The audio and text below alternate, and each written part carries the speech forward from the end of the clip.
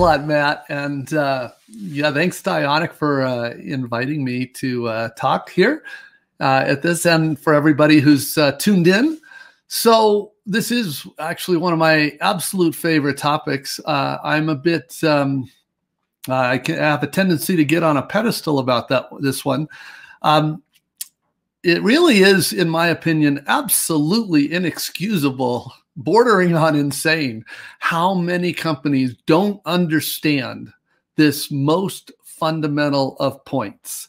Um, in terms of really, first of all, just, I mean, forget process and methodology and everything like that. We can just talk about the profit motive.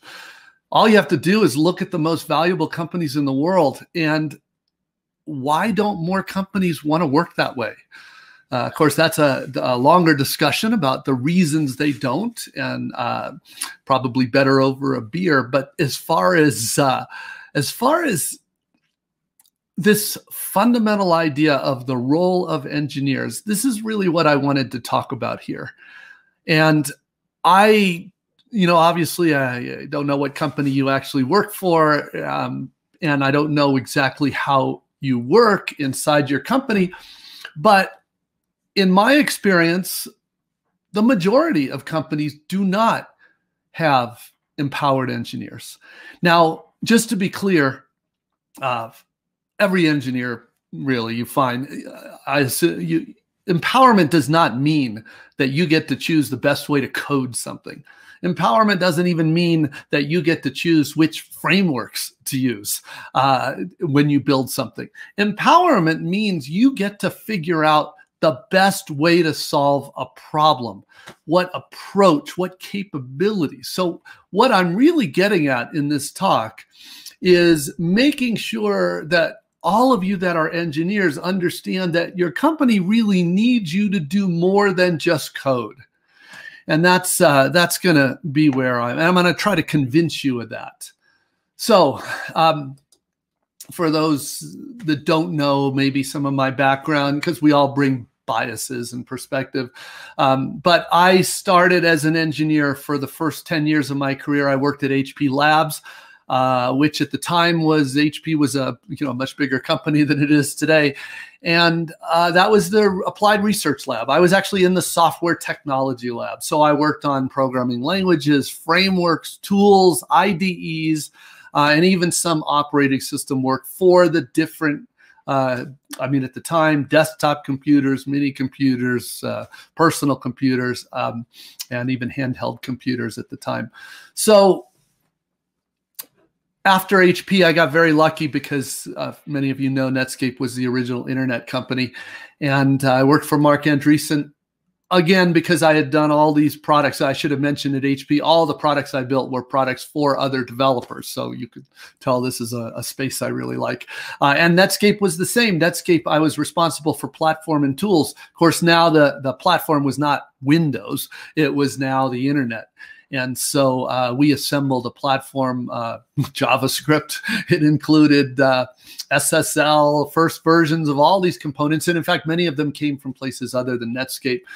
And uh, so for a platform person like me, a tools person, doesn't get any better than that job at Netscape. After about uh, six years, we uh, we eventually lost the browser wars, if you remember your internet history, to Microsoft. And so I joined a young eBay. Um, because I knew the co I met the co-founder through the uh, Pierre Omidyar through the developer program, and uh, really eBay was one of the first true applications built on the internet. And uh, of course, it was a marketplace. It was actually the only time in my career I was doing products that weren't primarily for developers. These were eBay, of course, is for buyers and sellers. Um, and anyway, after eBay, I just started with a few friends building uh, practice of working with doing writing, working with startups. Many of those startups became bigger companies. I, the timing was perfect. I got to work with early Amazon, early Google, um, uh, early LinkedIn, Twitter, Facebook later. Um, yeah, pretty much the normal cast of characters. Um, and what I focus on really is the difference between how the best companies work and the rest and trying to close that gap. All right. So let's get to the heart of it.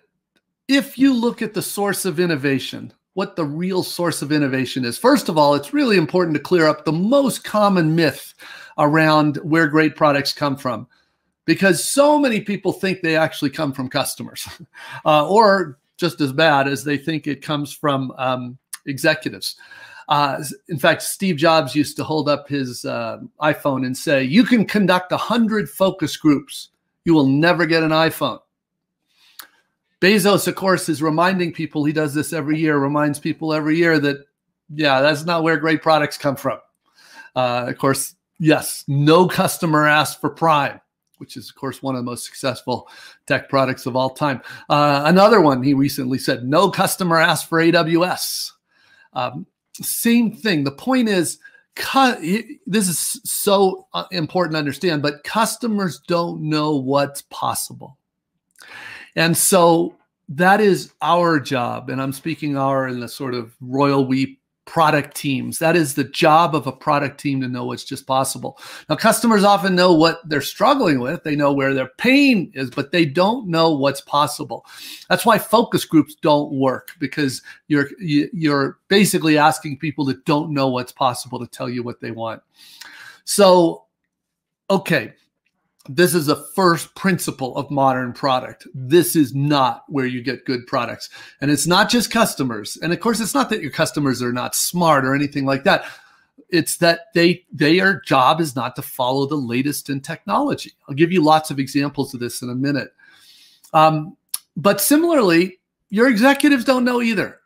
Your stakeholders don't know either. In fact, very often your product managers and your designers don't know either. Which is why consistently the single most effective source of innovation is your engineers, you. um, now, the reason for that is very practical. It's because the engineers are working with the enabling technology every single day. So it puts them in the best possible position to see what's just now possible. Now, and that sort of fundamental truth is what distinguishes, I would argue, the best companies from the rest. Um, some of you may know, I've heard of this guy, but but many of you probably haven't. His name was Bill Campbell. He's known as Coach Campbell. Um, in his earlier life, he was actually a, a football coach at Columbia University. By his own admission, not very good, but he came to Silicon Valley as a younger guy, and he uh, he worked for Apple. Um, he actually was the head of Claris, if you remember their original software division. And then he, uh, actually became CEO of Intuit. You probably all know Intuit. And then he um, he became a board member and just wanted to coach leaders.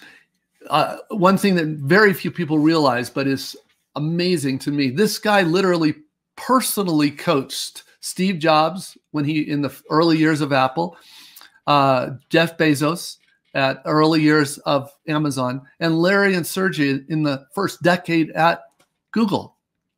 Now, I I was never lucky enough to be personally coached by him. I did meet him several times because three of the managers I've had in my career were actually coached by him. So I really grew up in my career hearing his lessons.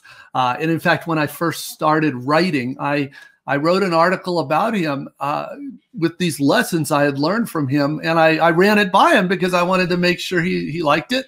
Was totally glowing, of like you might imagine, but he asked me not to publish it because he didn't want the attention on him. He wanted the attention on the people he coaches, uh, and and he had said the same thing for many years to the press. He passed away a couple years ago, but um, one of the things you know it's really interesting. A lot of people say what you really need is a, a, strong product culture in your company to do great products. But if you think about it apple amazon google if you've been inside those companies you know they have very different cultures but they're all three great at product. And i would argue this is true. They know that this is true in all of those companies that the engine for innovation is the engineers what's really ironic to me is I continue to meet these companies. Not only do they not think of engineers this way, they just want to think of engineers as people that code that'll basically code whatever you pay them to code. But they don't even often they're they're often not even employees they are literally outsourced they hire an agency and they say you know here's the spec build this i always tell them in a good product company they would no sooner outsource their engineers than they would outsource their ceo so this really is a fundamental principle behind great product companies and really what we'll talk about is how to really make this happen how to uh, how to uh, ensure this is in place. Now, to me, what what's special about great tech products is really they are inspired by real customer need. So, of course, we all know, and I'm guilty of this too. For years, I worked in technology teams that really were there to push the edges of technology. And of course, I've worked on my share of things that were technically possible, but pretty uninteresting as far as whether anybody wanted them or could use them. Uh, probably the uh, extreme example of that is all the time I wasted doing technology written in Lisp, which was not very helpful because people were not interested in waiting for garbage collection to finish. So um, it's inspired by real customer things, but it's built with technology that is just now possible. And that's it's when those two things come together that the magic happens. Um, now, just because of time, I won't go into detail in all these, but I like to, um, when I sit down with organizations, I really want them to grok this point. It is all important. And so I'll give them, I tell them the backstories of many of the products that I know they love and admire, where they came from. Alexa, I mean, you'll see the answer where they all all these came from engineers. They didn't come from executives. They didn't come from product managers. They came from engineers. In most cases, understanding the issues and building a prototype and showing that prototype uh, so that people really understood the po- power, the potential of that idea. Of course, Alexa is off to an amazing start, and Amazon scale, this is still be considered really a startup, but for most companies, this would be already a very successful product line. Um, and of, uh, of course, everybody knows Amazon is probably the most consistently innovative company out there. But Disney, who's a super old company, I don't even remember how old, but they're way pre-internet. Um, and so a lot of people think, yeah, unless you're Amazon or unless you're Google, you can't really innovate, but it's really not true. Um, if you've been to Disney World lately, you know, Disney invested over a billion dollars into the infrastructure to support this new technology that uh, really lets them reimagine the experience of a guest coming to Disney World. There's a great story behind that. Um, but it's another great example of engineers, designers working together to show what's possible and then to make it happen. Um, Google Translate is actually one of the purest examples of technology based innovation. This is one of the best examples of machine learning as applied to um, you know they try to apply it to many areas at google but this is one of the biggest wins. They actually changed the insides of google translate without changing the experience uh, and they wanted to see if users would actually notice based on the quality of the translation which worked. I mean it really did happen. People noticed how did this happen. It went from pretty bad honestly just better than anything else but not very good to remarkably good. If you haven't used Google Translate lately, you should check it out. It's remarkable. Um, and that is a pure example of combining a real need just to, with technology that was just now possible. Um, you know, there's the iPhone itself. Um, of course, it's probably the most successful product of all time. But if you look at the iPhone, there are, you know, it's three and a half years I think it's 11 or 12 years since the first iPhone came out, but it's three and a half years of product discovery for the first iPhone. And there were a lot. I mean, that was a very risky, difficult effort, the first iPhone, which, of course, we're talking a whole stack of hardware, firmware, operating system application software. But by Apple's own analysis, the hardest part was trying to figure out how to enter text on a 100% touchscreen device. Nobody had done that at the time. Today, of course, it's everywhere. But at the time, nobody had figured that out. And that was actually a very hard problem. And most of the ways, sort of top down ways, were not working. Finally, um, uh, one of the engineers, a tech lead, and uh, teamed up with a designer with a very different approach to text entry that finally gave Apple the hope that it was going to work. And by the way, Apple was already nervous about this because the Newton, if you remember the Newton, some of you may be old enough to remember the Newton was was uh, failed, and by Apple's and most people's own analysis, it failed because it was too hard to enter text. So they were already aware of this risk. And of course, the rest was history there. Um, Spotify, another good example. Spotify really understands the power of uh, empowered engineers. Um, and uh, Discover Weekly is is uh, I realize the word discovery there is uh, uh, two different uses of the term, but Discover Weekly, as many of you know, it's a machine learning based playlist. Um, and so many people have been surprised at this machine generated playlist and the quality of that playlist. Um, and of course, there's a lot of good business reasons why they do this for some of the same business reasons Netflix does this kind of work. But um, great example of uh, technology powered, customer inspired. Love it. So, and, and I, I, obviously gave you examples there of consumer companies because everybody really knows these companies. And, um, and, you know, there's really little question if you have a consumer product and customers don't love it, you're going to go nowhere fast. But Workiva, I'd be surprised if any of you know Workiva, um, unless you happen to work there, because it's not aimed at people like you and me. It's aimed at accountants, at public companies that have to do uh, boatload of reporting for the Securities and Exchange Commission. So this is a the opposite end of the you know if the iPhone is one kind of sexy, this is the other end of the spectrum. But um, I will tell you, Workiva's products is the only company I know in the enterprise software space where their net promoter scores are higher than Apple. Think about that. Ask yourself if you know of any enterprise software that is that loved by its users.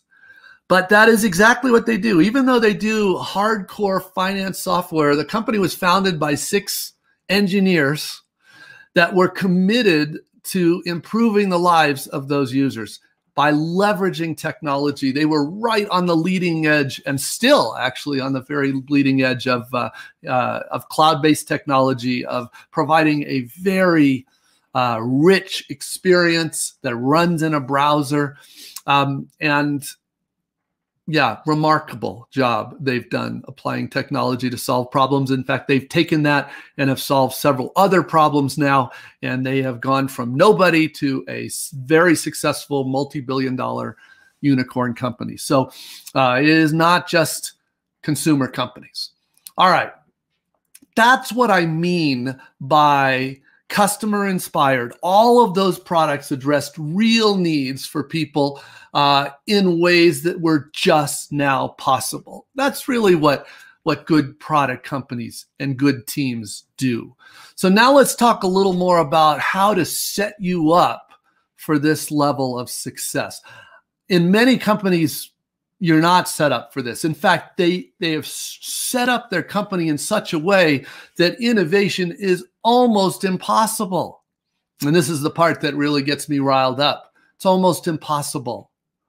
The uh, engineers are rarely even invited into the room when they're deciding what to do. Usually, the first time engineers see a product idea is at sprint planning. It's already been in corporate planning, it's already been on roadmaps for quarters, and it finally gets to you know the engineers at sprint planning, which of course is a sign of complete failure. The engineers need to be there you know when the idea is just sort of a sparkle in the eye not when it's sprint planning. So how do you really set that up? For those that don't know leslie kilgore she was one of the earliest leaders at netflix. She's still on the board of netflix. Netflix is another great example of what we're talking about. Their company is built on the idea of empowered teams and empowered engineers. Um, one of the mantras they have there is that lead we should lead with context not control. What they're saying is command and control telling engineers what to build is not why we hire these people. We provide them the context the context meaning what's the vision what's the product strategy what are the business constraints let them meet the customers let them meet the users. A lot of the times that's where the magic happens. And then let these engineers come up with the best solution to the problem. So what i want to do is double click in a little bit on how we do this how a company sets up.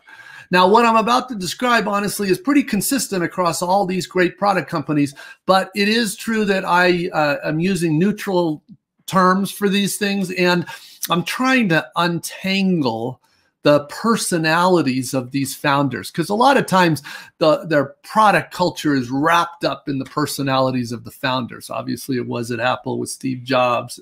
So let's do that. Let's talk about this idea of an empowered product team.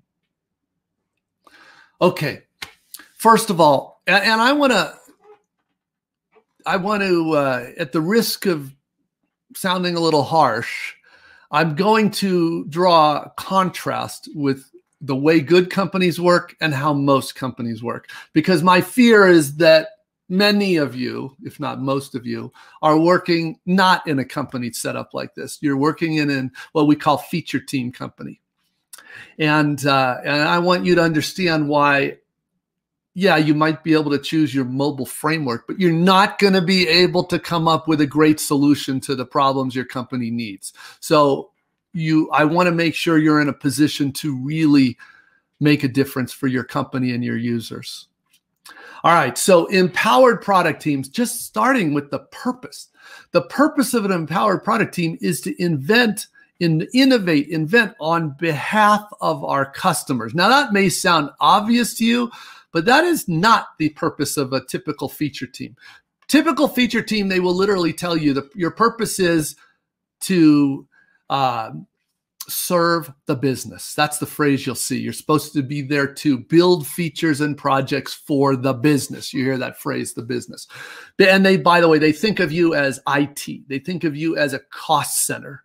They don't think of you as the core enabler of the company. And that's what you are. You need to be if you're a tech powered company.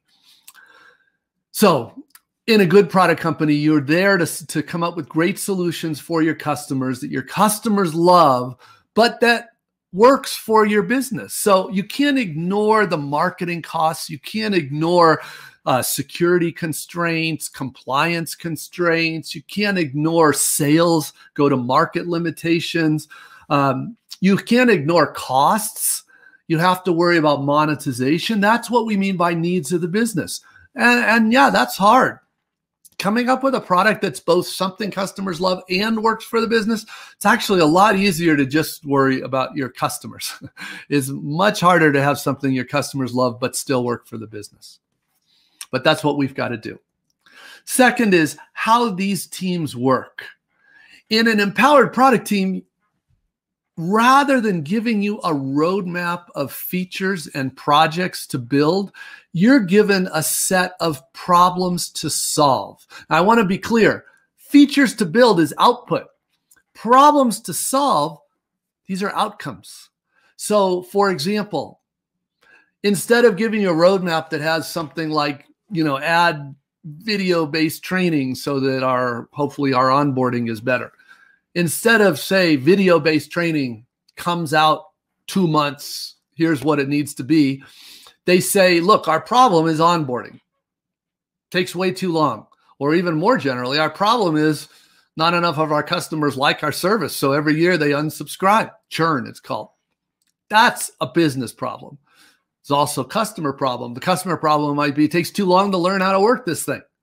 It's crazy. They don't they're not willing to do it. They don't want to watch a video to figure out how to use the product. So fix it. That's that's how we give work to product teams as opposed to features on a roadmap. Now, if you're given features on a roadmap, basically you have you basically need to do a little design. You have to design that feature, You might do a little usability testing, and then you build it, QA test it, deploy it. In an empowered product team, we're not given that feature. We're given a problem to solve. So the first thing we need to do is figure out a solution that works. Now that's hard. That's product discovery. I'll talk about that next. But we have to discover and develop an effective solution. And even more profound, we are now held accountable to the results. So if today, let's say today, 10% of our uh, customers every year, our business customers for a SaaS service, let's say 10% of them churn on us. They just decide this is not worth the cost. That's very high. I mean, and that would be um, at that level of churn, you are probably burning money way too fast. And it, it doesn't even pay to spend money on marketing because you're just going to lose it. So the the you might sit down with your leaders and say, all right, we need to work. The leaders say, you need to work on churn. It's a problem. Um, and right today, we're 10%. We need to get that down to at least 6%. So, uh, what can you do? Go work on that problem. Now, of course, we have lots of techniques to go figure out the best way to solve that problem, but that is what an empowered product team does. That's how they work.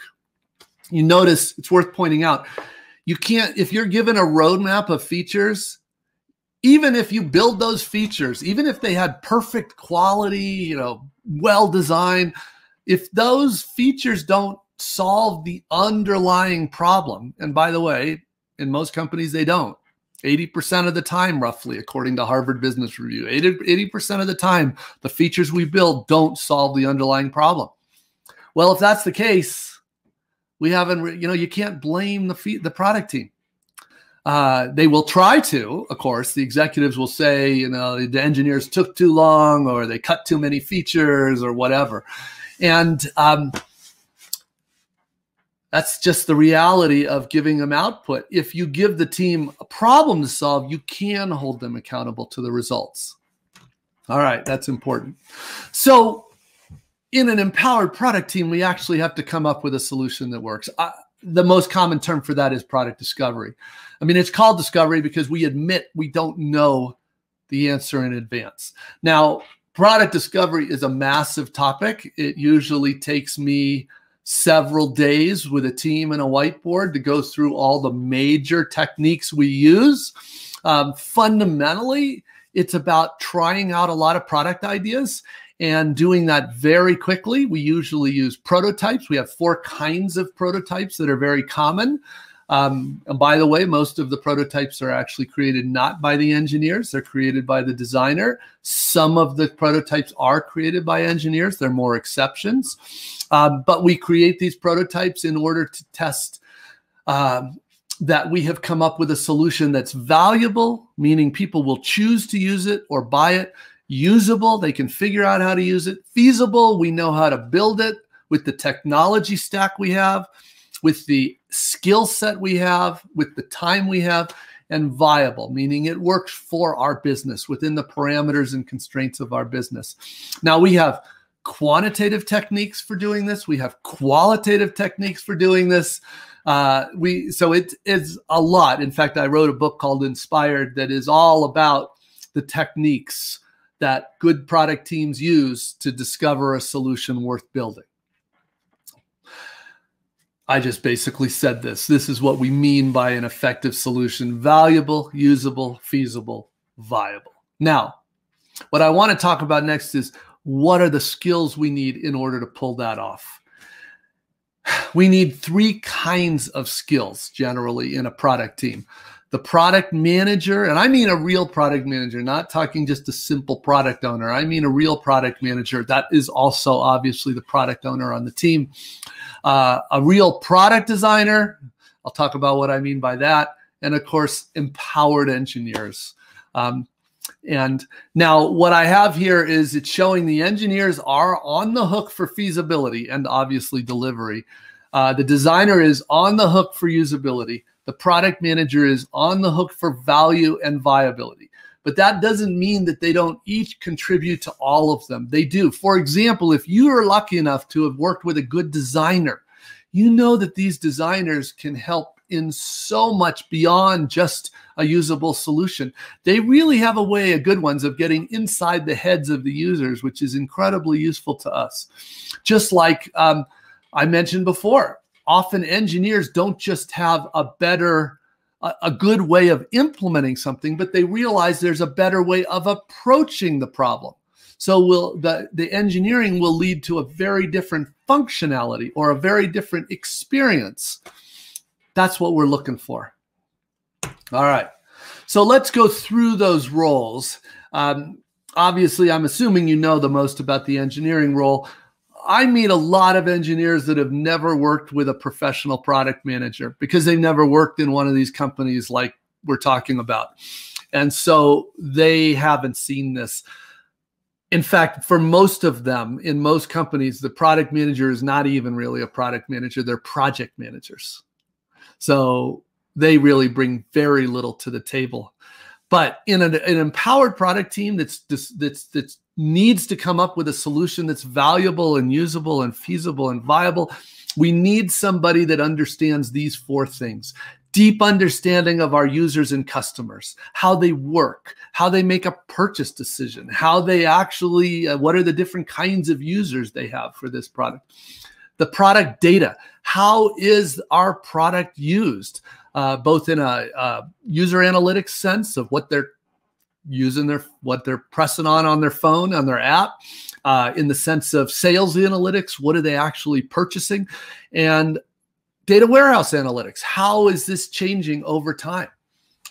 The product manager needs to be the data center person. Now they might have access to a data analyst or even a data scientist but the product manager brings this deep knowledge of what's just now happening uh, the product manager also needs to have a deep understanding of the dimensions of the business I was describing before, uh, how it's sold, marketed, what the capabilities of the sales organization is, what uh, what the costs involved for uh, marketing strategies are, what the um, financial constraints are, what the um, privacy and security considerations are. They also have to understand the industry, the competitive landscape, and they have to understand the major industry trends because you need to decide what's a fad, what's a trend. That is all on the product manager. This is what the product manager needs to be bringing to your team. The designer, you know what they bring essentially, and you know what you bring as engineers, but often the engineers don't know what they should expect from the product manager. This is what you should expect from a product manager. If you're not getting this, then you really have a problem as far as being a, an empowered team because you won't have the context that you need to make good choices. This is the context. All right. Just to be clear on design, I am not talking about just a graphic designer here. I mean product design, which is really service design, interaction design, visual design, user research. It is a, you know, a great, a strong product designer is worth their weight in gold. If you, uh, if you go talk to pretty much any engineer at Apple, there's a very good chance that daily, when we're not in a pandemic, they go to lunch with their designer. It is just um, that those two are so closely tied, and they should be uh, those two are probably the root of where the great product work comes from. So, yes, it's not just look and feel. And then, of course, for engineers, um, uh, I already gave you the Bill Campbell quote about there's nothing more important than an empowered engineer. Steve Jobs, famous, we don't hire all these engineers so we can tell them what to do. We hire them so they can show us what's possible that is, uh, I really want to raise the bar for you. Now, it's also fair to acknowledge not every engineer cares about what they build. There are plenty of engineers that are just like, look, I don't care. Just, just tell me what you need and I'll code it. And honestly, since we have a set of engineers on a team, in my experience, it's fine if some of your engineers are that way. I will tell you in the best product companies, when they interview engineers, they're trying to screen these people out. they want people who care about not just how they build, but what they build. They uh, they try very hard to get those people because they know that's where innovation comes from. But in truth, even in those companies, I have met engineers that are like, I don't really care. I get more excited about worrying about fault tolerance, get much more excited about worried about very large scale, planetary scale. And so, okay, we have plenty of room for that. As long as our tech lead, our most senior engineer, cares about what we build, we can do well. All right. And then um, Avid, by the way, is a uh, just a terrific product leader. Uh, started in engineering, also moved into product, moved into general leadership. She's uh, uh, a longtime Google Ventures um, partner, and I, I, she's just right on here. A leader should articulate what needs to be done and why, and then let the team figure out the best way to do it. That's really the principle behind empowered product teams. And of course, the premise there is really two things. One is obviously they're going to be more motivated. They're going to feel more sense of ownership if they are literally given the latitude to figure out the best way to solve the problem. But even more tactically, these are the people who are working with the technology every single day, the team. These are the people that, if you're doing what good teams do, are meeting with users and customers every single week. Who is in a better position to figure out the best solution to the problem? So that's the premise. All right, just to tie this up, if you're not sure you're working on an empowered product team, or if maybe you're just working in a feature team company, then this is an easy way for you to self assess. First of all, is your team truly cross functional? I want to be clear. Some people say cross functional, and what they really mean is front and back end engineers or something silly like that. That is not what we mean by cross functional. Uh, we are talking about the full range of skills. So that's typically product management, product design, the different kinds of engineering you need based on the technology stack you have. And um, it may include uh, user research. It may include a data scientist. It may include product marketing. So, whatever is necessary, we need to make sure we have those skills and that they are competent in those skills. That's a big prerequisite. Second, they're empowered, which means that they're not given features and projects to build, they're given problems to solve. And the team is given the space and the permission to go figure out the best way to solve those problems. And finally, they're accountable for solving the actual customer or business problem. Now, the team comes up with what they say they can do, but if they say this is what we're committing to, the idea is that if their first approach doesn't work, maybe they build three features, but it doesn't actually move the needle, then they're not done. They either are going to iterate on those features or they're going to try other features or different approach or redesign or whatever. But they keep going until they achieve that outcome. And that's the difference. Those three things is really that's what defines an empowered product team. And in when I talk to companies, the good ones, these three things are true. And that's what I'm looking for. And the rest don't understand that. They think that some executive with an MBA is going to write out all these features and somehow it's going to be good. No.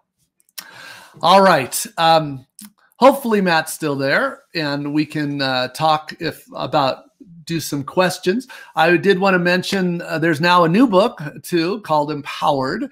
Um, Inspired is all about um, Inspired is all about how product discovery is done. And so if you've never worked on a team working this way, I would encourage you. That's who the book's for. And I think you'll love it. I mean, the, the techniques that good teams use, they're fun. You'll get more done, more innovation than ever before. Empowered, though, is if you're in a company that doesn't allow you to work that way, empowered is really for your leaders to help them uh, learn what they need to do to provide you the environment you need to do good work. So there's Matt back. Hey, thanks for thanks for walking us through all of this, Marty. I definitely appreciate it. You bet. Uh, and as a, a multi-year student of uh, your your books and what you bring to the table, every time I hear you talk or reread one of your books, I, I always kind of gets my brains turning, right? Like more stuff starts coming back and be like, oh yeah, like maybe I'm not doing good at like that part right now, and I need to get better at that. So I appreciate appreciate you hopping on board with us for sure. Uh, I have Inspire. Definitely go out and grab it uh, Empowered, I believe you said just came out, right? Like last just week. came out last week. I tried to find it in a bookstore, but as you know, uh, getting out of the house is hard these days. Uh, so I couldn't find one in time.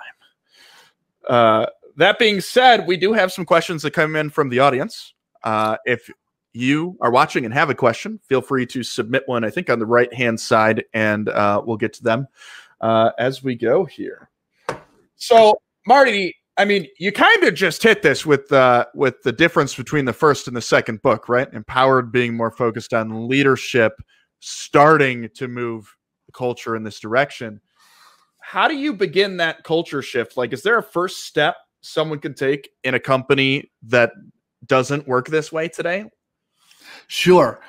Um, of course, transforming a whole company is a big endeavor. Uh, and of course, I think that's sort of the ultimate objective. However, what can a specific product person do, whether you're an engineer on a team or a designer or a product manager? Turns out you can do quite a bit, but it's more at here's what I recommend is now, of course, if the company's all making a ton of money and everything's going great, you'll probably get very little interest from the uh, leaders. but in most cases, that's not the case. Uh, if they haven't innovated in a while, and especially if your company is sort of in the crosshairs of a good company like Amazon, or uh, for example, the financial services industry, another good company I haven't mentioned in this call was uh, Stripe. Um, Stripe is disrupting a lot of uh, players in the financial services space. And so a lot of places, a, a lot of companies that were up until recently complacent are starting to sort of feel the fear of God. And so once they kind of understand that, yeah, we got to get serious about this, that begs the question of like, well, then how does Amazon work? How does Stripe work? What's going on? And so if your company has reached that point, it's the perfect time for an engineer to say to the leaders, you know, I, I understand that we don't work the same way that some of these great companies do. And what do you think about us doing a little experiment? What do you think about letting our team work this way for a quarter or two? And then we'll see how it works, right? This is called a pilot team, right? Effectively, it's like a informal A/B test inside the company. Yeah. And uh, most executives I know ha- will absolutely be happy with that. You know, it's like at the least they're willing to do is a little experiment. This is very low risk, it's very low cost. And of course, they figure like if it doesn't work, well, okay, we just do what we've always done. But if it does work, maybe there's something there and uh, we can spread it. So that's what I recommend. Um, now, of course, if you do want to start working that way, you've got some work to do. Usually, what it means is we need the designer and engineers to step up their game a little, not a lot. Most engineers and designers know what they've already been trained in what we've been talking about. But they do need to step up in the sense of you're not just there to code anymore, somebody else's stuff. You need to step up to help figure out what we should code right? So that's a bigger role. And the, the role that's the biggest change is usually the product manager. You, you really need to convince your product manager to up her game uh, or whoever. And once you've done that, you can absolutely get to work. And know, with some luck, you make some real progress and it starts spreading that way around the organization. Yeah, that makes a lot of sense, especially if there's some of that kind of need of the company to to innovate or take it to the next level uh, due to due to fear, right, or or anything going on in the in their industry. So makes a lot of sense. Uh, we got definitely have a few more here. Do you think there's uh, any issues like balancing uh, on one side empowering engineers, but on the other side over engineering? Like, is that something we have to worry about at all? Um, I, I don't think they're uh, at odds. They're orthogonal points. They're, they're both critical points. Um, certainly, you know, I just made the case about empowering your engineers and why. Uh, over engineering, and this, of course, very quickly leads into the tech debt discussion. That's probably where a lot of this comes from. Um, too much tech debt is is the biggest issue. uh, too much tech debt. I, I'm not exaggerating. It kills so many companies, and I have got very good actually at sitting down with the CEO and CFO and scaring them to death about what happens if they don't start taking tech debt seriously. So, too much tech debt is an even bigger problem. Over engineering does happen. Uh, of course, uh, I've seen it. You've probably seen it, but that's a lot lesser issue. The biggest, the root of that is usually because the product leader, not the technology leader. And just to be clear, the person absolutely on the hook to make sure that tech debt does not kill your company is your CTO, head of technology, VP engineering, whatever that senior engineer title is. That is the person. And uh, you cannot, if it, because if you don't do this, you're the one that's going to be fired. That's what happens at all these companies. But what usually happens when you have an over engineering situation is that the product leader has not provided a clear product vision for what you what you need to be doing over the next several years.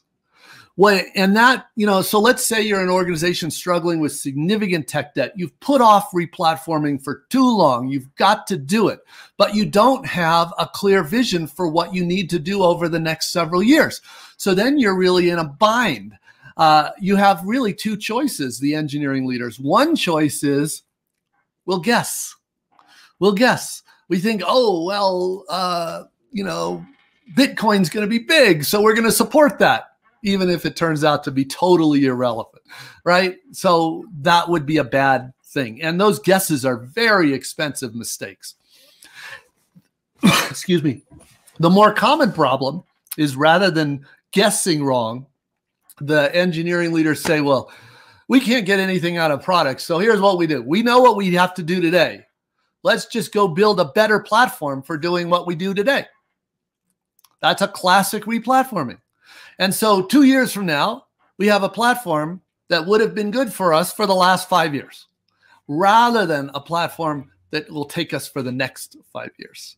So, the root of that is you, as the I tell the technology leaders, number one, you are responsible for your architecture and not having this level of tech debt. Number two, in order to do that, you need a good product vision from the head of product. So you need to lean on that person to get you that product vision now.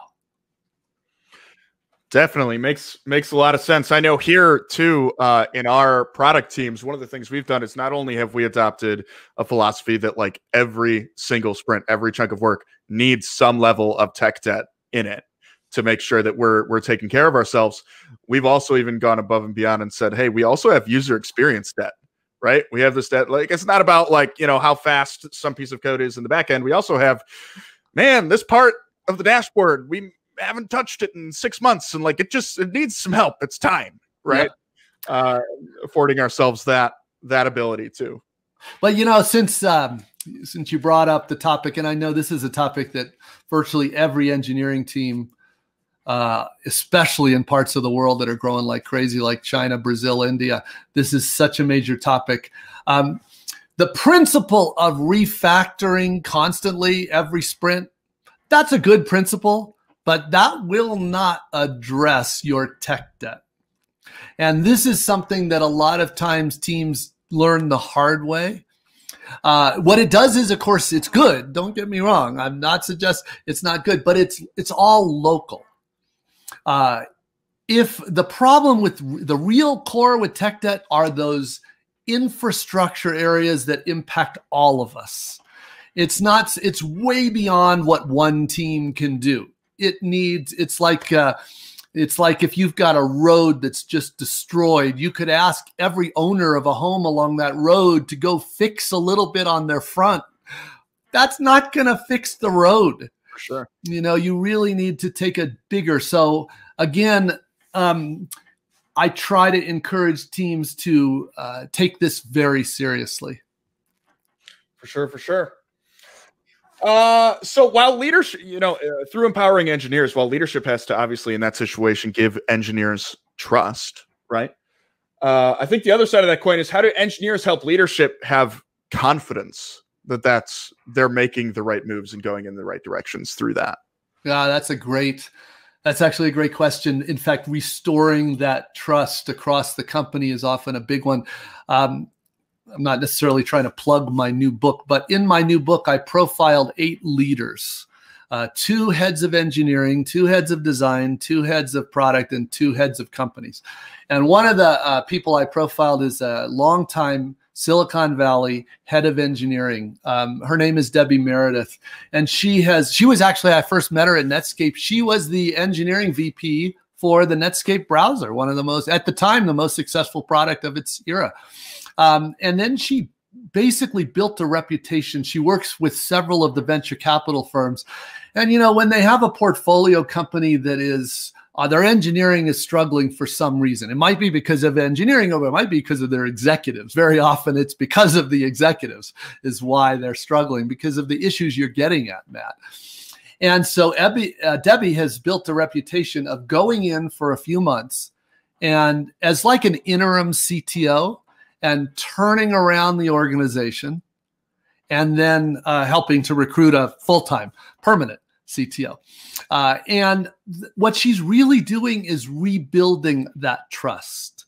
She's rebuilding the trust because w- a lot of the times, as she points out, a lot of the times the, the CEO has never worked with a professional engineering organization. They don't even know what to expect. They don't know how.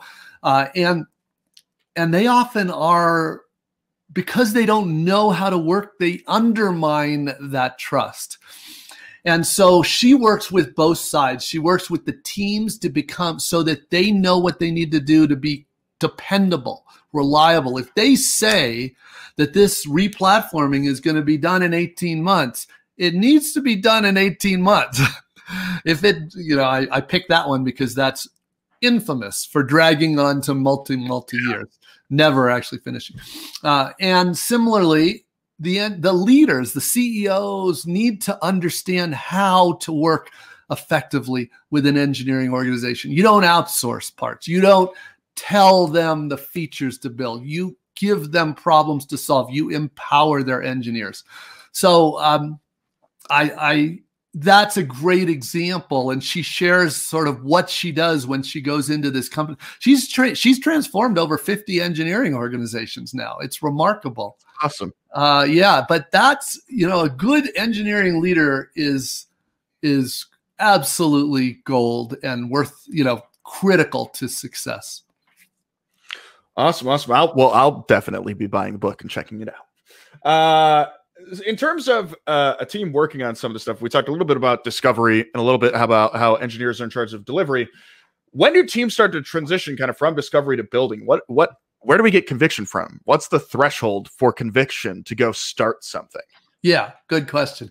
Well, first of all, I want to emphasize discovery and delivery happen all the time. They're continuous right? They're just just like delivery is going on every day. You don't stop coding, uh, and hopefully, you know, most of most of the people on this call are doing some form of continuous delivery. Uh, that's at least most of the companies I work with are, and um, so delivery is going on all the time. Similarly, discovery is going on all the time. Discovery is uh, now some days we generate a few backlog items, some days we generate a lot, but it's uh, it's an activity going all the time discovery, and just to make sure this is clear, that requires product design and engineering. Like I said, if the first time your engineers see an idea is at sprint planning, you have totally failed. Mm-hmm. So they should have seen it way earlier. Now, the real answer to your question is when do you know you're ready? This is a judgment call because I mentioned before the four risks in product value, usability, feasibility, viability the product manager, the designer, and the tech lead, at least those three, need to consider each thing you're planning to build and decide how risky is this? Yeah. Where are the risks? And then we also talk whenever we assess risk, we assess consequence.